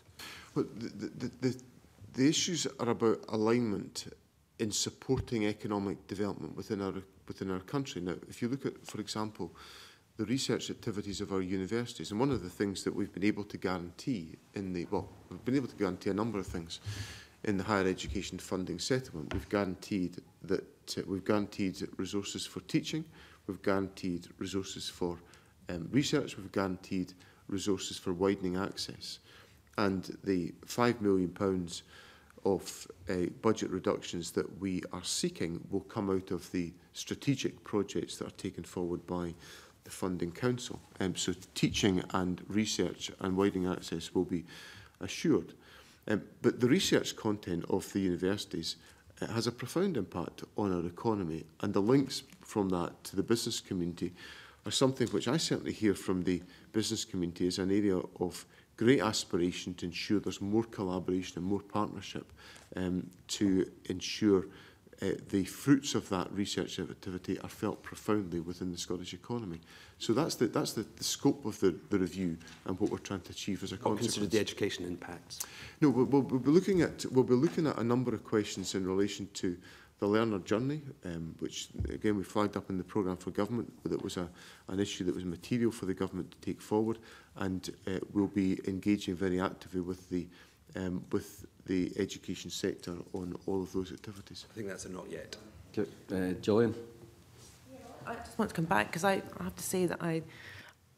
I look more broadly at what we need to achieve and I don't put education into a silo away from industry. And it be fair to say that the Enterprise and Skills Review has been born out of many, many years of industry and work for, uh, workplaces actually commenting on the fact that uh, we are not providing uh, people with the right skills to fill the skills gap. Um, we haven't been having um, people being career ready, and that this is an, an actual attempt to join up both sides of the coin in actually making Scotland a more productive place. I certainly I, I agree with the point about the, um, the, the the fact that we need to look at, um, at different services within a broader context and education plays a significant role in, and makes a significant contribution towards our economic development.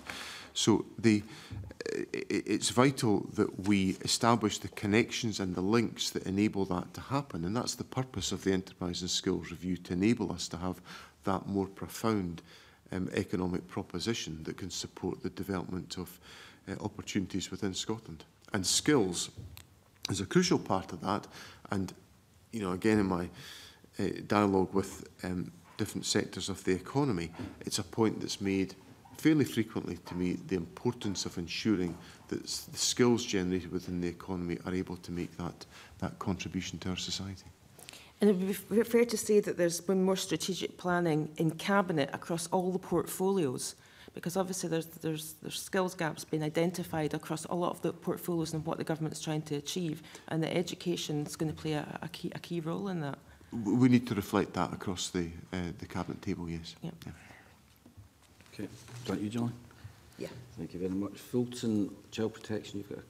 question on child protection. Yeah, I, I was um, just going to, going to ask the cabinet secretary um, in relation to the debate yesterday that we had in the chamber. The review, the root and branch review. How does he think that will impact in terms of the budget, financially, on the child protection uh, aspect and? I suppose, local authority delivery of services. I th th there's obviously, a, I think, a, a, there's a very welcome opportunity for us to um, ensure that we properly and effectively uh, deliver an approach to supporting looked after children arising from the debate yesterday um, in, in a way that builds on um, a lot of the good practice that exists within Scotland today, but ensures that we deliver better outcomes for many of these young people. And I think Parliament had a, a, a very constructive debate yesterday on how that might be taken forward. And certainly our objective is to make sure that our, and some of this goes back to what Richard Locke asked me about earlier on, goes back to how we align all of the different interested parties to focus on the needs of the child and ensure that that child is central to uh, the support and the judgments that are, that are made and that we take forward um, a reform of the system in a fashion that will ensure that we can improve the outcomes for individuals uh, concerned. Yep. And would the Cabinet Secretary uh, think that, the, that by um, expanding the, the, the root and branch review and by, well, by doing the root and branch review, uh, that that will broaden the, the child protection um, process as well um, for young people. Well, I think there's, a, there's an opportunity here if we if we improve the outcomes and the, the routes of support for, for, for looked after children, we have an opportunity to significantly reduce the um, the, the, the, the, the, the caseload experience of uh, young people within uh, the care system. And as a consequence of that, ensure that they are better supported as part of that journey.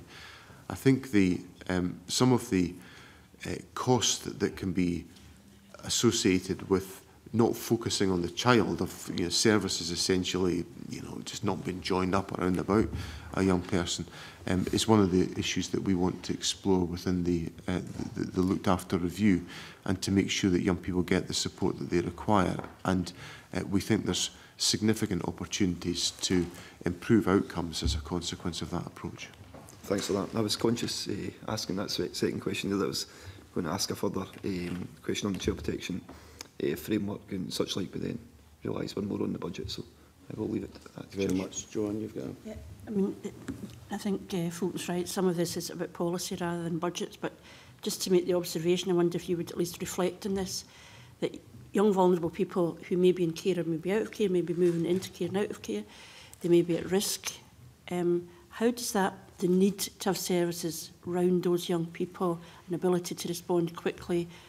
match with a desire to drive responsibility down in terms of governance to individual schools and with a regional board? Would you not accept that if you look at the question of a young person who may be going to different schools and all the rest of it, that actually creating services in a coherent way around them can be supported by the current model of local authorities rather than the one that's been proposed?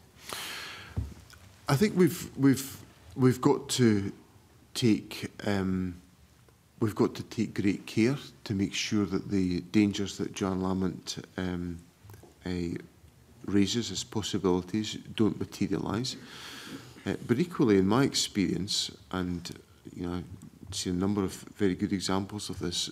Schools have been absolutely central to providing the um, just the foundations of support to young people who are vulnerable and meeting their needs uh, and essentially being a, a, a sort of a you know a central hub of how that support is is marshalled for young people so I, I, I my experience of the schools of Scotland is that they are very focused on the well-being and the development of young people and to make sure that young people are properly and fully and effectively supported. And I think that approach is an approach which will be of enormous assistance in making sure that we improve the opportunities and the outcomes for young people. I've no doubt that individual schools do a lot to support individual young people. The point I'm making is that very often these young people are across a whole range of schools and that the support services within individual schools have been reduced.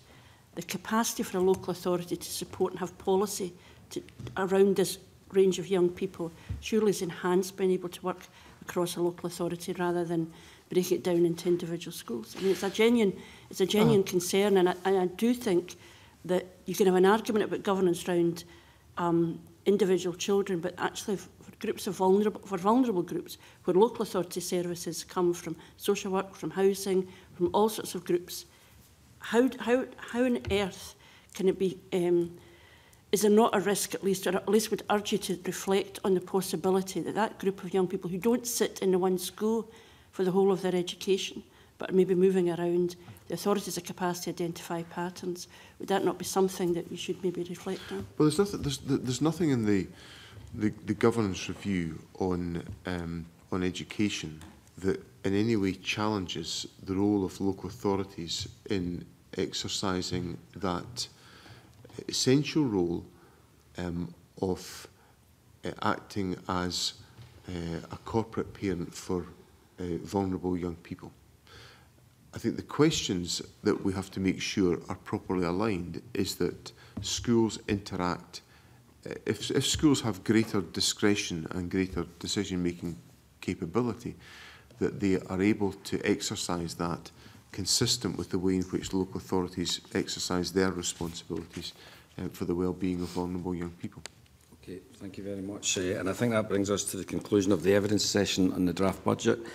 At this point, I say thank you to Aileen McKechnie, uh, but I know that the Cabinet Secretary and Ms McLeod are, are staying with us for the next item. We'll suspend for a few moments. Thank you.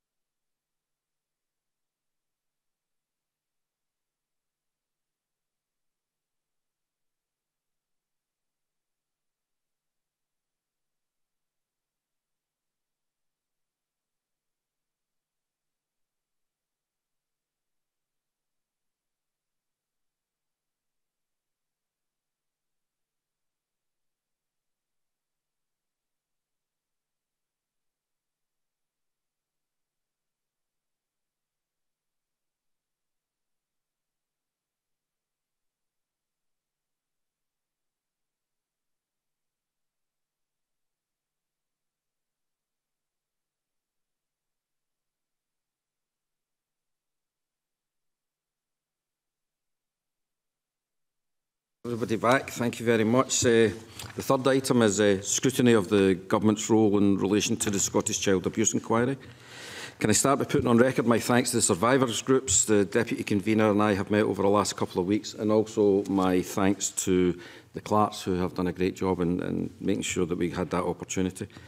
We met INCAS, White Flowers Alba and FGBA. All groups have provided comments for the committee, so other members are cited on issues raised in these meetings.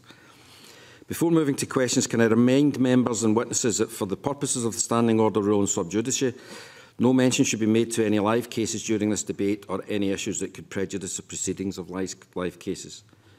And I will move straight to questions. Um, mainly, I suspect the questions will come from myself and Joanne, who have uh, met with the, the survivors groups. But FBGA suggested a, a reference group made up of survivor groups and others could usefully act as a means of promoting understanding to survivor groups of the work of the inquiry and also advise the inquiry panel on the sensitivities the inquiry needs to take into account in its operations. Do you have a view on this suggestion from a government perspective? I think the, the first thing I, I should say at the outset is that obviously this is a proposal that relates to the inquiry and I'm, um, you know, I, I want to um, steer as far away from expressing a view about what the inquiry should or should not do. Um, I think, in general, I think the more dialogue that happens in this whole area of policy, the better, because it creates a better understanding of some of the issues that are at stake and of concern to individuals. But obviously, the decision about whether such an inquiry, whether such a, a reference group should be established, would be a decision for the inquiry, and obviously I, I don't have operational uh, responsibility to influence that decision. And I'm going to ask you another question where you're going to caveat your response with exactly the same thing, I suspect. But the spoke to White Flowers Alba and they highlighted the, the Australian model, which takes a modular approach, moving through different sectors in each module, and with a commission at the centre with oversight of issues coming from each module. Do you have a view on this approach? They seem to think that it would allow you know, certain things to happen at certain times. I think that's a wider question, convener, which, um, and, and I acknowledge and I've, I've looked with care at the Australian inquiry that was established. And it, it, the characterisation of it that's been given to you by White Flowers Alba is, in my view, accurate. It is a, um, it is a broadly based inquiry looking right across a society in Australia at the experience of um, a number of situations with the ability to gather that evidence and uh, in, in, in in different areas of policy and then to reflect on that um, at a general level. So I, I acknowledge that uh, the, the accuracy of that characterisation of the inquiry in Australia. The origins of our inquiry here in Scotland uh, were somewhat different. Um, the origins of the inquiry essentially came from a process of examining the role of the state in the delivery of care to individuals who were in care, in the care of the state, where the state was essentially replacing the role of parents. And when we go back to 2004, that was the Um, that was the basis of the apology that was given by the then First Minister to individuals who'd been ill-served by the state's exercise of its responsibilities and care. That led to an interaction process which involved survivors, which ultimately led us to the establishment by my predecessor of the Scottish Child Abuse Inquiry with a remit focused on addressing the experience of individuals within care. Uh, obviously, when I took office and with the issues that have emerged, I, um, in dialogue with survivors, agreed to consider whether or not we should broaden the scope of the inquiry. Um, and, in, and as I explained to Parliament in my parliamentary statement, I was mindful in, in considering that point of the um, commitments that had been made to people who had been in care who were expecting this inquiry to take its course and to proceed. Uh, and that if I was to have broadened the inquiry remit as has been suggested to something either um, slightly broader or as comprehensive as the Australian inquiry, we would inevitably have lengthened the timescale within which this would, would have been undertaken. And uh, I felt it was um, it was unfair to those survivors who were expecting the inquiry to take its course on that focused remit in mm. relation to the care system um, if I were to take such a decision, uh, which is why I decided not to do so. Could I ask, uh, uh, in the context of a wider inquiry, if, if uh, the module system had been used, would you have been able to use the in-care cases as a module to deal with in that way? Um, that that that that um, that might have been possible, um, but the um, the inquiry was established on a different basis with a very clear and focused remit in relation to in care, and I felt the commitment and the obligation that we should make um, would be to fulfil the commitments made to the in care survivors. Okay, thank you. I, I'll just touch briefly on redress, but I know that uh, Joanne has got a couple of questions around about that. INCAS suggests redress could be considered by the inquiry itself to ensure those engaging with inquiry feel progress in their case has been made, and also to prevent them having to revisit their experiences through testimony to two processes. Do you have a view on the suggestion? I, I, th I think that question involves essentially two, two different elements that have to be considered. One is the, um, the principle and the details of any redress system. And then secondly, decision, if I understand your question correctly, convener, decisions on particular awards to people um, as a result of their testimony. I, I think it would be I think it would be difficult for two such processes to be undertaken under the umbrella of the inquiry. Um, in fact, I, have I've made it clear to Lady Smith, I, I, I, it's not my plan to ask her to consider the issue of redress. I think that's an issue the government has got to consider in consultation with survivors groups, which is, uh, which is the process that we are, we are embarking upon. Um, and I think the, the, we, ha we have to establish what is our approach to redress and then quite separately from that to, to make decisions about the determination and the application of any implications of that for individuals in relation to the cases and the experiences that they have had.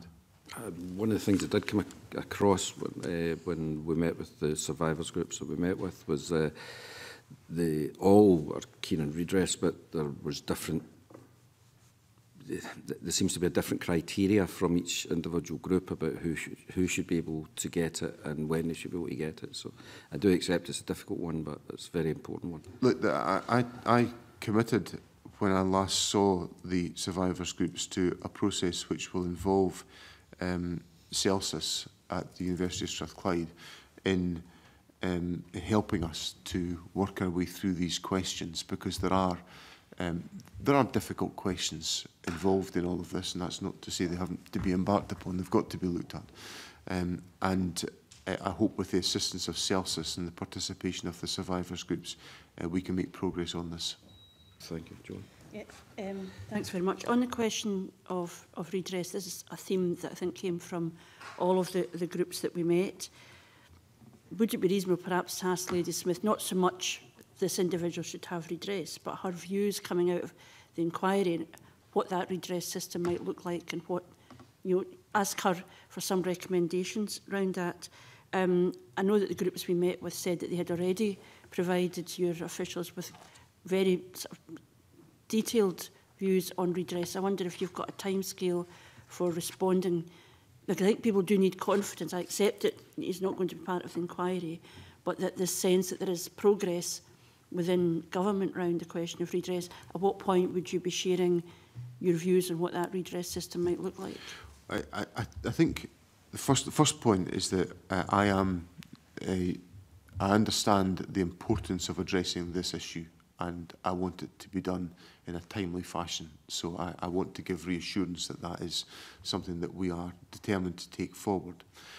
Uh, I'm reluctant to ask the inquiry to do this because um, you know, I weighed up this question and I felt that it was um, that might be perceived as if I was passing a responsibility that government should properly exercise to somebody else to do so, um, which is why I decided not to ask the inquiry to look at this. Also, um, I didn't want to give the inquiry more questions to address, given the fact that I was wanting to concentrate their efforts on addressing the substance of the experience of individuals and to um, make recommendations accordingly. In relation to when, when I last met the um, the survivors, uh, which um, must have been the 9th of November, I think, if I've got my date correct on that. Um, I said that, um, yes, it was the 9th of November. I said that we would establish a process of which would involve the government um, and survivors groups, and I'm, I'm going to involve Celsus in this as well, to essentially look at the proposals that have come from the survivors groups and to work our way through those questions. Um, I, I reassure the committee that that's a priority that we are taking forward and we're taking forward uh, uh, timiously. We've had discussions with Celsus about this and we want to engage the survivors on that process. And it is it's something that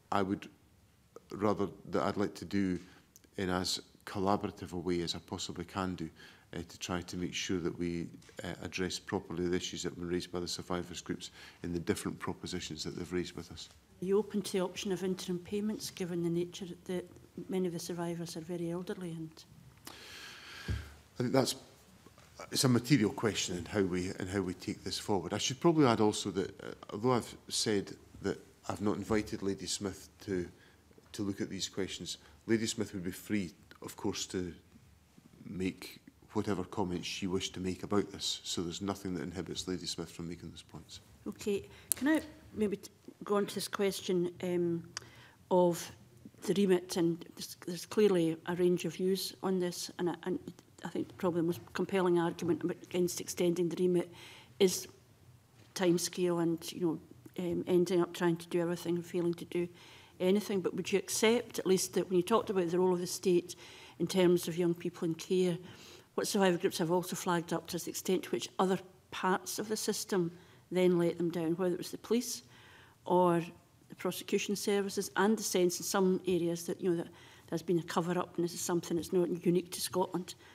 Is the inquiry able to go where the evidence takes it round um, not just what happened to young people in care, but the way in which the system then closed down um, concerns that were, when they were being expressed? Um, my, my view is yes, because the, the inquiry has to look at the experience of young people in care. And that's and, and the, the, the extension of the, the remit that I made in just in November was to make it clear beyond any doubt that, for example, if a young person was in care um, and they were abused out with the boundaries of that care home, that abuse what should be considered by the inquiry. That had to be part of its scope to make that absolutely clear. Now, I think the the wider um, understanding of what is what happened, how um, issues were um, considered, what was done, and more appropriately, what was not done at the time. All of that must be within the scope of the, all of that is within the scope of the inquiry, and in my view, must be examined. And you know that requires. Um, you know, a whole range of different bodies to be engaged with the inquiry on these questions, and the inquiry has the powers to make sure that is the case. It would be able to look for, I mean, it's, I think as a society we're more comfortable with the idea, and I use comfortable in inverted commas, with individual predators, but the idea that there could be organised um, abuse, which then involved other parts of the system as opposed to just the individual place where children were placed in care. I think that's an area that, that certainly organisations would hope that the inquiry could look at. I, I, I think that's entirely within the scope of the inquiry. Can I also just um, a couple of other points, and I'm, I'm grateful for your indulgence, Convener. You have met with survivors groups, and I think, you know, certainly again, it was reflected in our meetings, and people appreciated that, particularly I think the meeting in July, um, when I think survivors felt they'd been blindsided this had happened and, you know, you've kind of followed on from that. We've had um, a submission from Open Secret who say they have a number of clients that work with them in terms of um, their support needs who would also like to be part of that process, who would like to have the opportunity um, to, to meet with you now. I accept the constraints on your, on your diary, but I wonder whether there is a means by which you're able to um, hear from other groups than the ones you haven't already heard, and you, we could set, you know, if open secret, we'd be happy to um, liaise with your office in that. But just, it's a very difficult balance, but it's the extent to which you are able to test it with survivors, individual survivors, what's going on within reasonable um,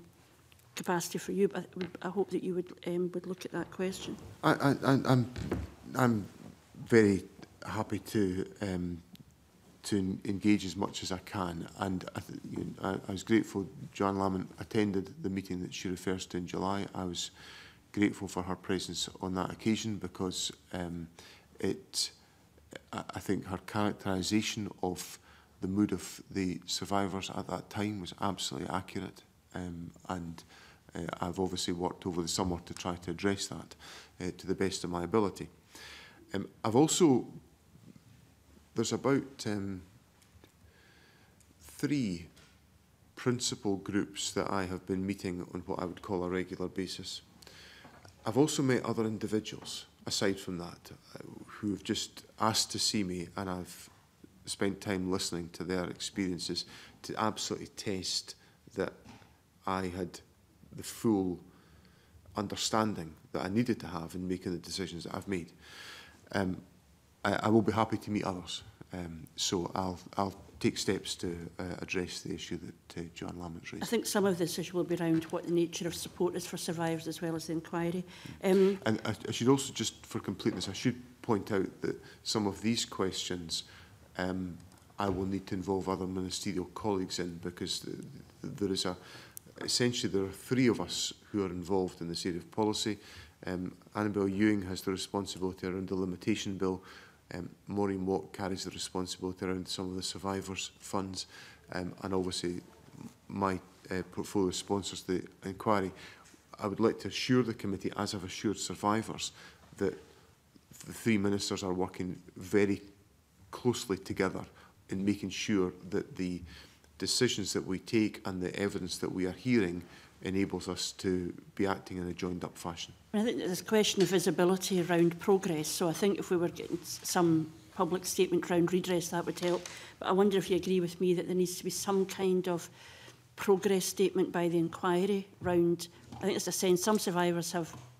been in, um, interviewed. We're not clear how many. We're not clear at what stage the inquiry is. And I think that would give people some confidence. A number of the groups have said they felt they didn't really know what was happening. And my final, final point was um, I understand um, that the Scottish Government has said they don't want to extend the remit to, um, as particularly INCAS would argue around those for a duty of care. This has been highlighted as an issue, obviously, because of the revelations that are now coming out around sport, and particularly in football. Can I simply ask if you're willing to be, remain open-minded, if not to attach it to this inquiry, to look at the possibility of a further inquiry um, on this question, specifically around young people who were abused, where there was a duty of care? Uh, on the first point about the progress of the inquiry, I, I, if John Lamb will forgive me and the committee forgive me, it's really a matter for Lady Smith to express her view about as to what information she considers appropriate to share. Um, and Lady Smith gave some information the other day on the um, uh, about the arrangements for hearings in January and um, obviously uh, we will hear more from Lady Smith in, in that context. On the, the, the second point that John Lamont raises, um, obviously this is an issue that I have um, I've thought about long and hard. And I came to the view that the inquiry that we had commissioned should remain focused on the uh, questions that essentially had given rise to the origins of that inquiry, which were the, the public apology in 2004. And the, as we've seen, the you uh, know, terrible revelations emerging, most recently about football, but there are, of course, other situations that have emerged. Um, particular inquiries have been set up. Um, the Catholic Church established um, a, a, a review body on these questions and invited the former moderator of the General Assembly, um, uh, Andrew McClellan, to explore these issues. And I also um, saw the next stages of that process been taken forward by uh, Baroness Helen Liddell, uh, eh, who I thought wrote um, um, a very a deeply personal and effective and impactful article about the aspirations that she has to take forward in relation to the, the Catholic Church in the Herald just the other the other week there. And in a sense, I thought Barnes Liddell's article, in a sense, made the point more effectively than I could. That she was making the point that as a member of the Catholic Church, and I, I don't have the article in front of me, but Barnes Liddell said something like, I don't really want to have to do this, but I feel I have to do it because the church has been so damaged by what has been said, uh, what has happened. And to me, that is the, uh, you know, it's an example of how these issues can be taken forward within um, a particular organisation that's got a duty to address these points. And I take the same view with, with, with football but there has to be confidence in the process that is taken, that, that is advanced. It has to be done um, with independence. It has to be done with authority to give people confidence in that process. Now, there, there will, there may well be issues that emerge from these processes that the government has got to take into account.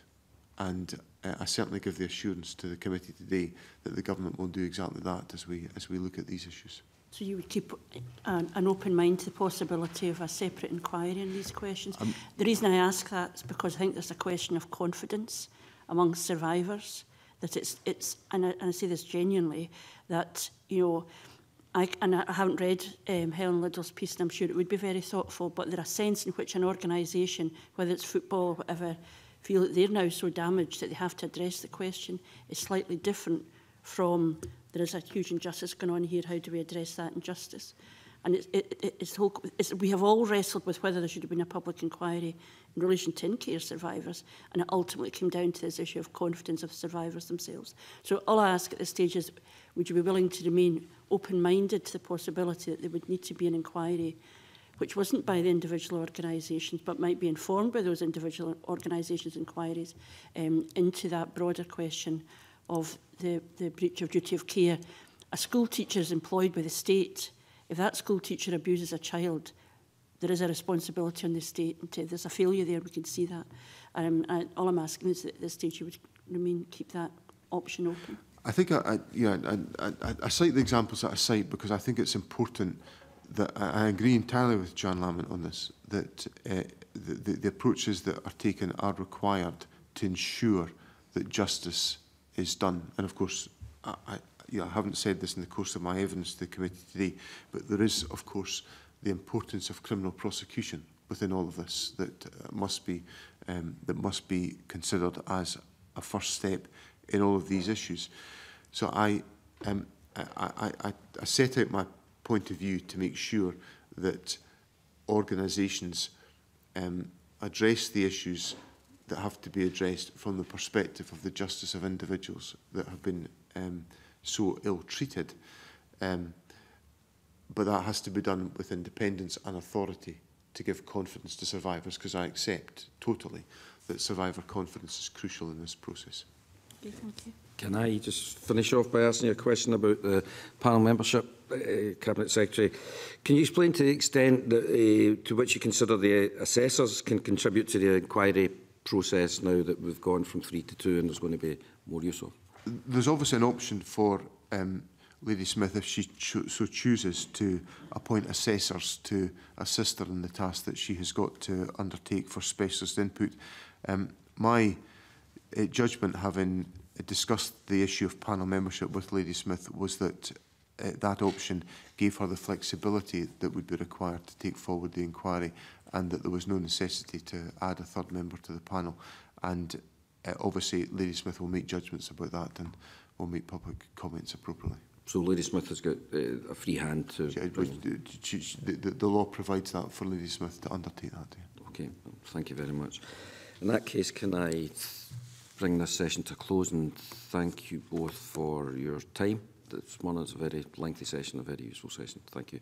And that's the public session closed.